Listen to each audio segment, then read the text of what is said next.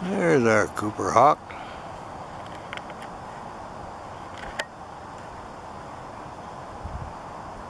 He's still on top of that telephone pole and looking around for something to chase.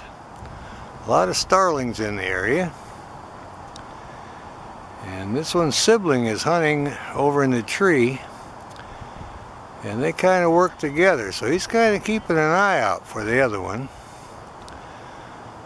I'll just see how close we can zoom in on this guy. We're right in here. There we go.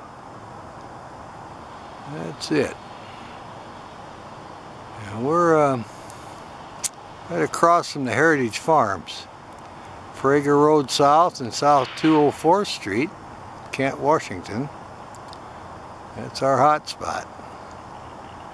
Alright, you can see him looking around there. He's wanting to find something he can catch. A lot of salmon in the river.